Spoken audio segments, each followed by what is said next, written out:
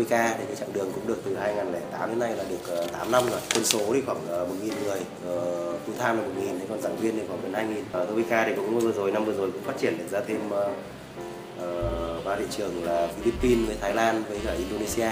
Và rất mong các bạn là cứ hỏi hỏi những câu hỏi nếu như là sáng lập và đồng sáng lập nếu chỉ có hai người mà lại là đều là dân kinh doanh và marketing thì như vậy là có đồng sáng lập được không? Và nếu như không phải là coder thì có startup được không? Startup đây là nói đến startup công nghệ thông tin thì theo mình thì phải là uh, về sau sẽ phải tuyển khá nhiều coder. Và mấy ông coder thì ông giống như là là giang hồ ông phải đi theo đại ca. Nên là phải là coder phải đi theo coder khác giỏi hơn thì mới đi theo. Hoặc là phải lương rất cao nhưng cao thì mình startup mình không có tiền trả. Đấy thì nhiều khi là đại ca bảo đi theo thì có khi ông không lĩnh lương ông cũng đi theo. Thì trong một trong hai ông phải là đại ca thế còn hai ông đều là ngoại đạo thì mà nói chuyện với các đại ca thì không nói chuyện được. Thế thì những anh em cốt giỏi họ sẽ khó để mà mình, mình tuyển được họ đấy thế nhưng mà vẫn có thể tức là ví dụ như là ông ờ, Tuấn Anh Apota chẳng hạn thì ông không phải là dân cốt ông là dân học lịch sử xong rồi.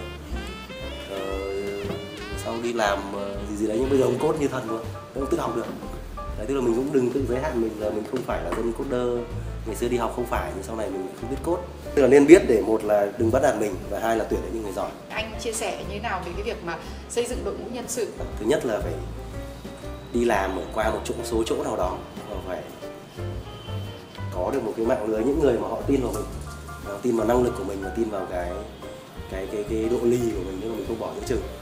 Vậy thì nếu mà bắt đầu ấy thì nên là bắt đầu với ý tưởng sáng tạo nhưng mà nhiều rủi ro hay là ý tưởng xây dựng một cái công ty mà ờ, lâu dài và ổn định?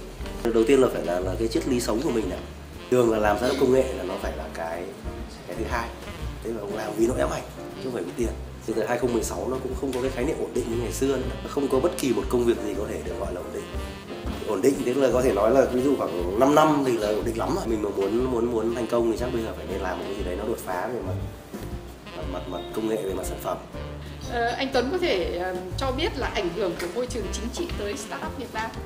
chẳng có ảnh hưởng gì cả tức là một trong 100 vấn đề mình đang phải giải thế thì hầu như là mình không cảm nhận được những cái chuyện đấy đâu Theo tôi thì là chính sách về chính trị là là đang có rất là tích cực cho những người khởi nghiệp nếu mà các bạn định làm thì phải làm ngay.